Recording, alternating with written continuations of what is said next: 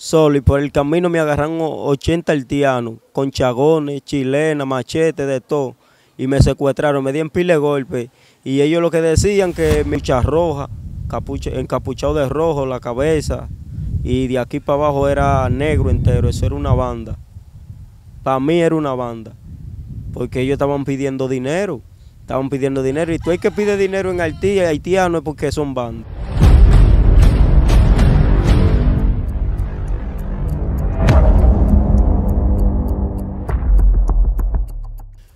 Mi gente, sean bienvenidos una vez más a esta su plataforma de IDTV Juventud. Para usted que ingresó por primera vez y visitó lo que es nuestro canal de YouTube, no olviden suscribirse a él, activar la campanita para que siempre se mantenga activo con nuestras entrevistas.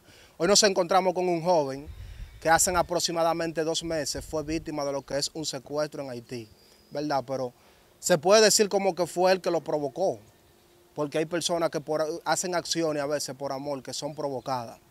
Porque si no, hubiese sido por tú ir a buscar a esa mujer, o quizá caer de atrás a ella y ti, tú no pasas por esa situación. Es algo como que causa risa, pero hay que contenerse para no reírse por el motivo de que te viste al borde de la muerte en ese lugar. Viviste malos momentos. Es aquí, tuve una pequeña conversación con él y con su hermano, él está ahí. Y él me dice de que su hermano, luego de venir de Haití y pasar esa trágica situación, ha venido como un poco raro, un poco extraño, se queda sonámbulo y quizás le van a buscar como solución, a ver si le han hecho algo como sea algo como de, brujería o algo después de esa situación. ¿Cómo tú estás, manito? ¿Cómo te sientes? Me siento bien, gracias a Dios. Le doy la gracia a Dios por esta entrevista y gracias a ustedes por entrevistarme. ¿Tu hermano siempre anda contigo? Sí, él siempre anda conmigo porque la gente dice que que a mí me echaron algo porque a veces me siento raro, y yo soy muy activo, muy vivo y estoy como siempre como que no oigo cuando me llaman ni nada. ¿Por qué tú te quedas así como mirando lejos? No sé, no, no sé, porque me quedo así. A mí me dijeron que a mí como que me echaron un, baño o algo, me hicieron, me, echaron una brujería o algo, ya usted sabe, estoy así porque, por Dios hay que saber por qué, por qué pasan las cosas yo voy a hacer una prueba, ¿verdad? De mi punto de vista y según mi conocimiento. A ver si tú estás bacano. Yo quiero que tú te me presentes aquí en cámara, me diga tu nombre y el lugar de tu nacimiento. Mi nombre es Stylis Delgado Jiménez, vivo en Malmón Bonao, nací en el 2000, el 25 de julio, del mes 7. Oh, ¿es verdad, es verdad eso? El panita dice que sí, que es verdad, es tu fecha. Tú tienes 24 años, 24 años esta fecha. Voy para 24, tengo 23. Ok, bien. ¿Qué tiempo hace de que tú viniste de Haití? Tengo un mes y 10 días. un mes y 10 días. Un mes y 10 días desde que vine de Haití. Pero duraste ya varios meses, ¿verdad? Tres meses duré en Haití. Tres meses. Y todo por una mujer. Tú te fuiste para Haití detrás de una mujer. Así mismo, detrás de una mujer cogí para Haití. ¿Con esa mujer tú te encontrabas casado aquí? Sí, me casé aquí mismo. Aquí mismo me casé, la vi por primera vez y el otro día nos juntamos y nos casamos. ¿Cómo se conocieron tú y esa chica? Ella nos conocimos en un, en un solo día. Yo la vi y yo le gusté y ella me gustó y me junté con ella. O sea que eso fue, nos conocimos hoy y al otro día se casaron. Así mismo Nos conocimos hoy y ya mañana estábamos juntos. Pero tú no investigaste sobre la vida de esa mujer ni nada. Nada de eso. Ni ella te investigó a ti sobre tu vida. Nada de eso. Ella además me preguntó que de dónde yo soy. Yo le digo, yo soy cibaeño. Soy de Malmón Bonao. Lo único que ella me preguntó y entonces nos juntamos ahí. Oh, cosa de Dios, obra de Dios. ¿Y tú no, no trataste de indagar un poco de su vida? ¿No, te interesaste en saber de ella? No, no me interesó nada, no. No me interesó. Ni a ella tampoco, porque ella no me preguntaba nada. ¿Qué edad tenía esa chica? Ella tenía 19 años. 19 años de edad. Y ella vive, como su familia son de Altito, y ella vivía en Altí ella tuvimos guapo y ella arrancó para ti y yo arranqué atrás de mi mujer, arranqué para allá. Pero en el momento que tú te conociste con ella, tú por lo menos no le preguntaste si vino directamente de Haití o si llevaba tiempo viviendo aquí en esta zona. No, yo no le pregunté, yo nada más le pregunté que si la vecina que estaba era su hermana y ella me dijo que sí. Lo único que yo le pregunté, yo no le pregunté de dónde ella era ni nada de eso. Después que ustedes se casaron, que fue algo como, como muy orgánico, como que fluyó así, muy, ¿tú no te encontraste extraño? Tú en tu persona, tú no pensaste y dijiste, wow, esta tipa como que fluyó demasiado rápido para casarse conmigo. ¿Eso no te llegó a tu mente?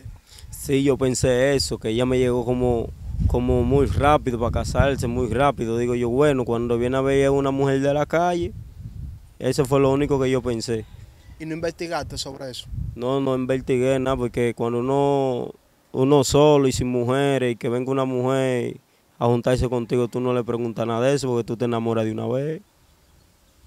Es una batalla yo no me voy a casar con una mujer que él haya conocido hoy y una vez se le tira su ganchito, dije, ¿qué es lo que mami? Vamos a casarnos. Y si me dijo que sí, hay que darle para atrás el CD porque toda la mujer que se da su valor no se va a casar con un hombre conociéndolo un día. Yo me junté con ella, yo le compré una paleta a ella y fui dándole cotor y ensaizándola y, y al otro día se juntó conmigo de una vez. Yo le dije, yo te voy a comprar de todo, mi amor, yo te voy a comprar todo lo que tú necesites. Atento cotorre, porque uno era un, uno es un tigre atento cotorra, que yo le voy a comprar de todo, estufa, tanque, de todo lo que ella necesite, para el salón, que le iba a mantener niño, leche y pampe, de todo, porque ella tenía un niño, ella tiene un niño. ¿Tú estabas trabajando en ese entonces? Sí, yo limpiaba bridio en el semáforo aquí en Bávaro. Desde que yo llegué me puse a limpiar bridio, porque la vida aquí no es fácil. ¿Cómo vivías tú? ¿Tú estabas preparado para así casarte con una mujer en ese momento? Yo no estaba preparado, pero un hombre soltero no es nadie en el mundo. Nadie en el mundo, el hombre que está soltero no es nadie. Y ella tenía a su niño y había que buscar leche y pampe cuando yo monté con ella y me, iba para el semáforo a aguantar carrera de su policía, ya tú sabes, limpiando bridio. O sea, el compromiso tuyo fue solamente suplir la necesidad de la leche y los pampers del niño. Así mismo, la leche, los pampers del niño y la comida de ellos y pagar las habitaciones aquí, que eran 300 pesos diarios. Cuando se mudaron tú y ella, ¿qué había dentro de la casa? ¿Qué tú le ofreciste a ella como una mujer ya para casarte? Yo le ofrecí trate y con la obra de Dios duré una semana y le compré una estufa, un tanque y pay de platico y dos o tres caideritos ahí para sobrevivir hasta que siguiera fluyendo, uno consiguiendo los pesitos en ese semáforo ahí, limpiando bridio. Ella, porque hay haitianos que son nacidos aquí, y tienen su papá y su mamá para afuera, para allá, para Haití y eso, pero nacieron aquí. Tú viste en ella si era una, una arrayana, como se dice, o tenía poco tiempo que llegó de su país. Ella, como se le veía el físico, era que era haitiana honesta, que tenía como dos, dos meses o tres meses que había venido de Haití, porque su, cuando yo llegué a Haití, su papá es brujo y su mamá es haitiana, haitiana, son prietos los dos. O sea, que ella era una congosa. Así mismo es. ¿Hablaba español claro? Clarito el español, sin falla. O sea, no metía su acento ella, creol. No, no. Cuando hablaba con lo, con gente de su, de su sitio, ella hablaba creol. Ella hablaba creol. Y entonces yo a veces me ponía guapo, celoso, pensando que era de mí que estaban hablando en creol. ¿Tú no notaste en ella algún cambio como de maldad en ella? ¿Qué tú pudiste ver en ella, en su persona? Yo en su persona, cuando yo me junté primera vez con ella, yo pensaba que ella era una mujer muy buena, que me iban a salir hacia adelante. Yo trabajando y ella cuidando a su hijo, porque no es hijo mío, era hijo de ella, cuidando a su hijo. Y el compromiso mío con, con ella era buscarle su comida a ella y buscarle su comida a su hijo, para poder sobrevivir. Porque hay mujeres, que yo conocí un caso que va a estar muy pronto en otro canal, y fue un joven que se casó con una chica y él me dijo que le tocó vivir malos momentos con ella, porque ella como que la perseguían misterios. Y te hago esa pregunta porque dijiste como que el papá de ella bregaba con misterios, te diste cuenta después que llegaste a Haití. ¿Tú nunca viste en ella si tenía misterio o algo? Yo nunca vi en ella si tenía misterio, pero cuando estaba allá en Haití, el papá de ella me prestó una habitación y dame eso sí, ni esa casa, remeneándose y tocando, y, cada rato tocaban la puerta y yo la abrí, no había nadie, porque yo vivía pegado del altar. Hmm, tiene valor para eso. ¿Qué ¿Qué tiempo duraron ustedes casados aquí entonces en Bávaro? Nosotros duramos aquí en Bávaro dos meses casados. Dos meses y como tres días o cuatro días. Se llevaban bien, todo nítido. Nos llevábamos bien, todo nítido, todo chévere. Hasta que un día yo tuve una discusión con una hermana de ella y ella arrancó para allá, para Haití, y yo arranqué atrás de mi mujer. Pero ¿cómo así? ¿Por una discusión terminaron tú y ella? Así mismo, por una discusión entre yo y la hermana, porque la hermana no quería que yo me pusiera a limpiar bridio en el semáforo, porque que, que así yo no le iba a mantener ni nada, pero con la obra de Dios estamos aquí de pie y vivos. Sí, a pesar de la situación. Pero, ¿cómo así? Pa- para mí, para mí, yo quiero que tú me aclares la cosa bien, ¿verdad? Porque quiero que mi público pueda entender la historia y la situación, ¿me entiendes? ¿Cómo se da la cosa? Dos meses viviendo entre casas, todo feliz, todo bien. Y como que por una discusión que tú tuviste con su hermana ya repentinamente así se va a ir para Haití. ¿Qué fue lo que tan fuerte que ella vio y que decidió irse para Haití de una vez? Tan fuerte que ella vio que decidió irse para Haití fue que su hermana la estaba amenazando que si seguía conmigo iba a tener problemas con ella y con su familia y ella mejor trató mejor de irse para Haití. Coño, ese amor de ella como que estaba lejos hacia, hacia ti, mano. Porque no pudo buscar ella otro lugar donde irse, sino para Haití. Así, repentinamente, me voy para Haití. ¿A los cuántos días de ella irse para Haití? Tú fuiste detrás de ella. Yo fui detrás de ella para Haití, ella tenía tres días que se había ido y yo de una vez arranqué para allá atrás de mi mujer. Arranqué para allá atrás de mi mujer porque no es fácil, está ahí, está ahí un hombre aficionado de una mujer y que, le, y que le haga mucha falta. Más niños que yo cada rato no, no mancaba con la leche, ni los pampes, ni nada de eso. Y ya tú sabes, la mente a mí era el niño que me daba la mente y la mujer para ir a buscarla y para allá arranqué para Haití. Pero espérate, en el momento que ella se fue para Haití, tú estabas ahí. Ella hizo la maleta delante de ti y todo. No, yo estaba en el semáforo limpiando bridio. Estaba limpiando bridio en el semáforo y cuando llegué aquí, un hermano mío me dijo, ella se te fue para ti. Ah, pues no, no para allá arranco yo en, en dos o tres días y arranqué así mismo en dos o tres días. Desde que hice los cuartos del pasaje para coger para el ti, para allá cogí. ¿Cuánto ajuntaste? ¿Cuánto era el pasaje de llegar a Haití?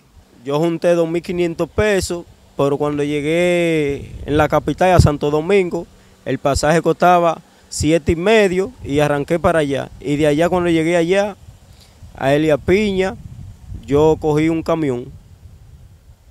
Cogiste un camión. O sea, después que tú tengas Elia Peña, tú tienes que coger un camión. No hay guagua de transporte ahí. No, ahí en camión, en camión de, de eso, de, de, de montar caballo y vaina así, con un rejón que parece de vaca, ya tú sabes, lleno de revu- el revolutú de haitianos, lleno hasta el eje. O sea, que el transporte que hay de Elia Piña para entrar a Haití es un camión. Es un camión, lleno, En ese camión, ¿cuántas personas iban contigo? más de 300 haitianos. Y por el camino no, no paró migración porque ellos estaban, se armó un rebú ahí entre ellos mismos.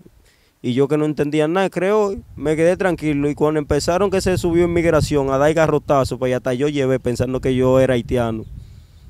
Pero tú pagaste, ¿verdad? Por ese transporte. Claro, yo pagué mi peaje. ¿Cuánto tú pagaste al tipo del camión? Al tipo del camión yo le di 400 pesos. De Elia Piña Macasía. El que va manejando el camión, ¿es una persona de nacionalidad haitiana o era un dominicano? Haitiano. Pero entendí español. Hablaba español. Ese es un gántel, un buscador seguro de ahí. ¿Verdad? Pero tú te fuiste a Haití sin ningún conocimiento. Sin yo saber... ¿O tú sabías dónde estaba tu esposa ubicada en Haití? Yo no sabía para dónde iba, pero como le digo, el haitiano, el dueño del camión, como él sabía hablar español, él salió que era compadre del papá de ella. Y él vivía por ahí mismo y me, de- y me llevó allá mismo, a la misma casa. ¿Qué informaciones tenía tú para él darse cuenta de que tú estabas buscando supuestamente a su compadre?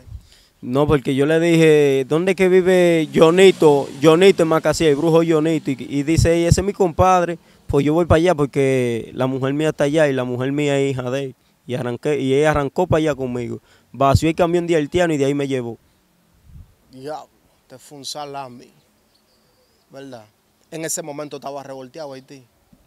Revolteado y pico, porque en ese momento fue que mataron al presidente de los haitianos, en ese mismo momento. Y yo arranqué para allá. Atrás de- No, no, no, no, espérate, espérate. Séme claro aquí. Porque en mi conocimiento está de que el presidente de Haití ya lleva varios años. Y tú me estás diciendo de que hacen dos meses de que tú fuiste a Haití. O hacen tres meses. Explícame eso. ¿Mataron a alguien importante de Haití? ¿O algo pasó? Pero el presidente no, porque el presidente lleva mucho tiempo ya. Ellos mataron una- un personaje que le decían como el presidente, pero en realidad yo no sé si era el presidente de Haití, que decían que era el presidente y que cada dominicano que pise en esa área haitiana, ellos lo iban a matar. Así me fueron, así mismo fue que me dijeron allá en Haití. Me dijo el suegro mío que es brujo. estaba peligroso, estaba en problemas, ¿verdad? El país en ese momento. Cuando tú llegaste allá con el, el hombre del camión, ¿a qué barrio te dirigiste? A Macasía, El barrio se llamaba Macasí. Macasía el barrio. Lleno de caña, un cañal lleno de caña y tabaco, sembrado de tabaco. Dame era caña y tabaco y maní. Sembrado todo, todo, por donde quiera era tabaco, caña y, y maní. Tú dices que tú le diste la información al chofer de que tu suegro se llamaba fulano de tal, pero fulano de tal no te conoce. O fulano de tal en algún momento habló contigo por teléfono mientras tú, te- tú te encontrabas viviendo con su hija aquí en República Dominicana. No, nunca. Yo tuve nada más contacto, yo hablaba nada más con la madre de ella, que vive allí en Macasía también. Cuando tú llegaste, ¿con quién te encontraste en la casa de tu suegro? me encontré con él mismo, me dio un amor, un abrazo, todo bien conmigo a lo primero. ¿Y tu esposa? Ella se juntó conmigo de nuevo, ahí ella se juntó conmigo de nuevo y yo seguí con ella ahí mismo en Haití. Diablo. El amor lleva a la gente a hacer cosas, mano. Mira, gracias a Dios que no te dio para cometer un error contigo mismo. Que te dio para tú mejor arrancar para Haití. Entonces te adaptaste ahí ya a esa familia.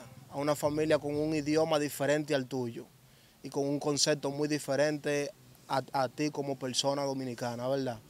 Te presentó ella ante su familia. ¿Cómo fluyó todo? Ella me presentó sobre su padre y el padre de ella hasta una finca me ofreció para que yo la sembrara con de todo. Y después a los par de, a los par de días llegaron de que uno tal primo y ellos hablando en su idioma. Yo estoy tiempo celoso de mi mujer porque yo hablo anda más con mi mujer en, en otro idioma. Y digo yo, cuidado si es que este, uno de ellos quiere quitarme la mujer ¿eh? o hablando de mí, más de mí. Y yo revolteado todo el tiempo. ¿Cómo te diste cuenta que tu suegro era brujo? Me di cuenta desde que llegué porque él tenía un altar y más que la madre, la madre de ella me lo había dicho por teléfono porque yo hablaba con la madre de ella y ella me dijo, el papá de ella es brujo, es brujo y es alcaide en Macasí, el papá de ella es alcaide y brujo. Ah, pero tú estabas en una casa de rico entonces. No, cuart- cuarto sí había tierra por muchas. No, me, me- me dieron como más de 100 hectáreas de tierra y que para que lo sembrara, para los dos. Y, y yo no me puse, yo lo que me puse ni a sembrar maní con hachi y pico, yo te saben, sembrando maní ahí. Y cuando se iba a buscar leña, no, no es los burros que buscan la leña ya, ni los caballos, son los toros. A los toros allá le dicen los güey. Más guapo que, no, no hay, no hay vaina más guapa que un güey. Mierda, te tocó acostumbrarte a la cultura de Haití. ¿Qué tiempo duraste viviendo en Haití? Duré tres meses en Haití, tres meses viviendo en Haití, pasando la toa, Entonces te tocó trabajar con un buey. Con un güey, trabajar, dándole el latigazo para que camine para adelante. Y después cuando me tocaba a mí amarrarlo, un güey me cayó atrás con otro haitiano, dije que era primo de ella, y el güey lo desbarató ahí, que tuvieron que, que operarlo y darle, darle pinta de sangre y de todo. Al moreno que estaba junto conmigo. Y yo me embalé con, en un caballo, en un burro, y por allá me dio un estrellón, todo desbaratado llegué yo a la casa. Qué bobo, mano. Ahora, para mí, digo yo, como que no fue nada fácil para ti adaptarte. Pero cuando hay amor, el hombre si tiene que comer hasta cica, se la come. Y no le para eso, ¿verdad? eh, ¿qué, ¿qué tú sentías que era muy diferente a tu dominicanidad aquí? No, allá era todo diferente, todo diferente, porque hasta la comida es diferente allá. Con lo que tú, con lo que tú comes aquí, con lo que tú comes aquí, allá tú lo multiplicas con el dinero que tú lleves de aquí allá el ti. Allá la comida era muy diferente que la de aquí. Eh, comida rara, de que mafongo con, con, con uyame y esa vaina. Comida que yo nunca en mi vida la he visto. ¿No te llegaste a comer un arroz con habichuela? Bueno. Yo llegué a comerme un arroz con habichuela, habichuela negra, machucada, ellos la machucaban en un pilón y le echaban el líquido y ese líquido era la habichuela y se lo echaban revolteado ahí con un arrocito blanco. El arroz, el arroz sí, sí era bueno, blanquito. Llegué también a beber con, con, el papá, con el papá de la mujer, que con el brujo, en el mismo altar. Me daba ahí bebida, cleren, porque eso es un cleren, un cleren ya ustedes saben, un cleren puro que ellos, que ellos se beben allá. El triculí, dicen que el mejor triculí que viene de ahí, de, de, ese sitio, de Haití. ¿Tú bebías mucho triculí con él? Sí, mucho triculí, y es bueno, es bueno el romo, porque yo me daba tres tragos y ya estaba borracho. Tres tragos y ya estaba borracho, matado de un humo. Él te puso a trabajar tierra, ¿verdad? Sembrar maní, esa cosa. ¿Cuánto tú cobrabas por día? Él no me pagaba por día, nada. Él no me pagaba porque yo estaba ahí de que cuando crecieran las mercancías, lo partían para los dos. ¿Llegó a pasar eso? No llegó a pasar. Porque no llegó a pasar, porque ahí mismo, cuando él me manda un día, yo ya estamos ya guapos y quillado. Y él me manda un día para la finca y me se encuentran como 80 haitianos. Y ellos además lo que decían que, que llamara a mi familia para que le mandara dinero para ellos soltarme. Espérate, espérate, eso tú me lo dijiste muy rápido, explícamelo bien ahí. ¿Tú saliste con tu suegro a trabajar? No, él me mandó al trabajo solo, solo, y por el camino me agarraron 80 haitianos, con chagones, chilenas, machetes, de todo, y me secuestraron, me dieron pile de golpe, y ellos lo que decían que, que a mi familia que me diera que, lo llamara para que ellos le manden dinero para ellos soltarme. ¿De qué forma tú dices que te secuestraron? ¿Te amarraron? ¿Te metieron en algún lugar o qué pasó? Ellos me amarraron y me metieron en una cueva, en una cueva amarrado. Me amarraron los pies, los brazos, me lo pusieron así, amarrado para arriba. Y va ese golpe me metieron a lo primero. ¿Qué situación? 80 haitianos. ¿Fue en grupo que te agarraron? Todo en grupo, con machete, chilena, chagones. Pile ahí me fuego tienen esos haitianos ahí. ¿No pudiste defenderte, por lo menos pedir súplica, hincarte ante ellos? ¿Qué van a hacer conmigo o algo? ¿No apareció uno de ellos que hablara español? Sí, yo apareció uno que hablara español. Y yo le digo, no, no, vamos a ver si yo consigo el número de mi mamá, pero es que yo tengo un familiar que es haitiano. Yo decía que era ya mi, familia, yo, el brujo Jonito, el papá de la mujer mía. Y yo le dije a ellos por mi, mi, mi, mi, suegro está ahí, está ahí, está ahí, gente. Y ellos como quieran me amarraron y me dieron mi golpe. Ahí fue que yo me di en duro cuando yo dije que el suegro mío era el brujo Jonito. Me dieron durísimo ellos. Oye, tú pensaste que te iban a considerar, seguro por el respeto que tenía el señor allá. Por ahí entonces, hay una confusión ahí, el señor era malo cuando viene a ver. Él era malo porque él era alcaide y allá a los haitianos él lo amarra esposado y lo deja afuera y le da su golpe afuera. Y lo deja amanecer hasta el otro día, 24-7. Las 48 horas, si, si es posible, lo deja dormir afuera esposado y dándole el latigazo. ¿Cuántos días duraste tú en la cueva? Yo duré en la cueva, duré 15 días metido en la cueva, pasando hambre y de todo. Más agua me daban ellos. Solamente agua. ¿Qué tú pudiste ver en ese grupo de personas? eran como que bandas o, personas que quizás viven de eso, de secuestrar personas ya. Eh, para mí ellos eran bandas porque tenían traje negro con una capucha roja, capucha, encapuchado de rojo la cabeza y de aquí para abajo era negro entero, eso era una banda. Para mí era una banda, porque ellos estaban pidiendo dinero, estaban pidiendo dinero y tú hay que pide dinero en Haití, haitiano es porque son bandas. ¿De qué forma ellos pedían dinero? ¿Cómo era que te decían? Ellos le ponían el, único que sabía hablar español y que entendiera, y él me decía a mí que le dijera a mi familia que le mandara 80 mil pesos para ellos soltarme. 80 mil pesos le pidieron a mi familia. ¿Y cómo se supone que tú le ibas a decir a tu familia que manden esa cantidad de dinero para ellos soltarte? ¿Tú te sabías algún número de teléfono de tu familia? Sí, yo me sabía el número de teléfono de mi hermano. Y cuando ellos se descuidaron, se descuidaron, yo, yo con 10 días metido ahí en la cueva, ellos se descuidaron y yo me le fui. Me le fui monte arriba, yo sin saber para dónde iba a coger. Y me le escapé a ellos. Y arranqué, arranqué de una vez para pa, un retén de guardia que ahí revisan todos los morenos que no pueden pasar si no tienen sus papeles. Y ellos entonces, yo les dije dónde ellos estaban y ellos dijeron que iban a arrancar para allá, pero yo no sé si ellos arrancaron o no arrancaron. Y de ahí me fue y me, recogió, y me recogió mi suegro. Y de ahí yo arranqué para, para acá, para Malmún. Coño, pero tú tuviste una travesía ahí, mano, fuerte. Y se puede ver porque todavía está él un poco sonámbulo. La esposa tuya no se dio cuenta de lo que te pasó. Ella no se dio cuenta. Pero para mí pensar y mi pensar, eso cuando viene ahí fue el suegro que me mandó a hacer eso. Porque después que yo me fui y ya ahí me recató y todo, y me dio algo a beber y me siento, no me siento como yo era antes, tiguereado, eh, muy a vivo, muy, muy sabio yo era antes. Muy sabio, pero me estoy recuperando chin a chin con el poder de Dios. Amén, así es. Con tu esposa, ¿no no ha vuelto a tener comunicación? No, con ella no he vuelto a tener comunicación y de ahí yo me metí también a cristiano y chin a chin Dios es que me está limpiando y quitándome eso. Amén, así es, mantén la fe, que la fe es lo más grande que puede tener el ser humano para combatir cualquier mal, ¿me entiendes? Ahora mismo, ¿con quién estás viviendo aquí? Me dijiste como que con tu hermano. Estoy viviendo ahora mismo aquí con mi hermano por par de, por par de meses o par de días para de ahí coger para mi pueblo, para Isibao. Porque la vida de aquí no es fácil, porque yo en realidad lo que yo necesito es un trabajo. Estaba limpiando vidrio en estos días en el semáforo y a un limpiar vidrio le dieron un tiro con una 12. Los lo, municipales, porque ellos lo que les gustan hacer es fechoría vaina mala. Y, y si yo no hago nada malo, como quiera yo voy preso si me agarran porque pagan todo por uno. Todos los limpiabridos pagan por uno, por un solo.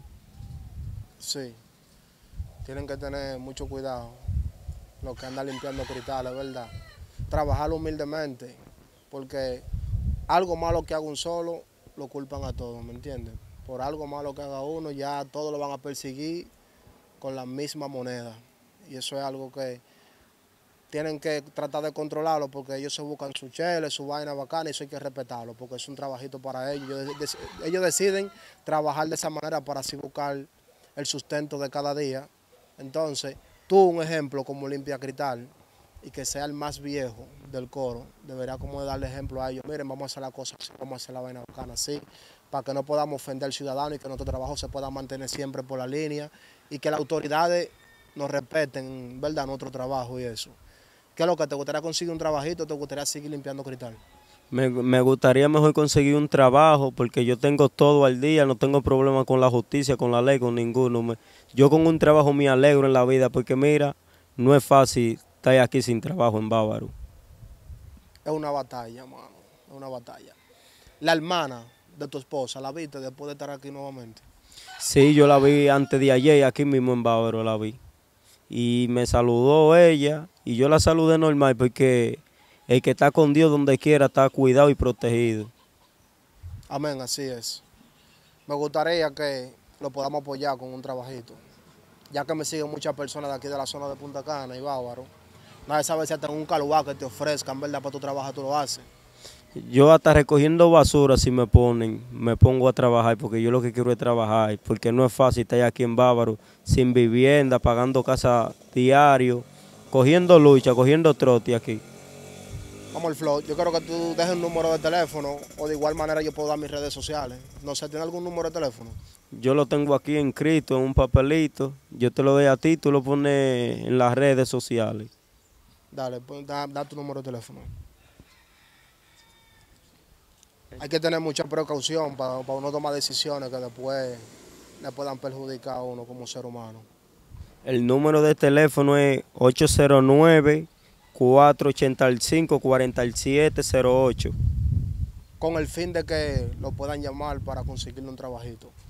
Tú estás, tú estás bien, tienes todo tu antecedentes penales limpio, bacano.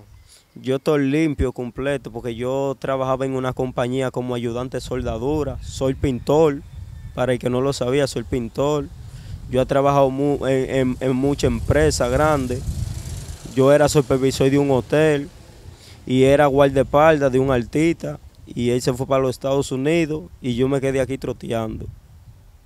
Estamos activos ahí. Yo sé que esta entrevista vieron muchas personas que la vieron y en caso de que tengan algún trabajito que ofrecerle a él, pueden llamarlo a ese número. Sigan activos en otra plataforma, denle a me gusta esta entrevista y dejen su opinión en la cajita de comentarios. Me pueden seguir en Instagram, arroba de TV Juventud Oficial, la vuelta de Papá Dios.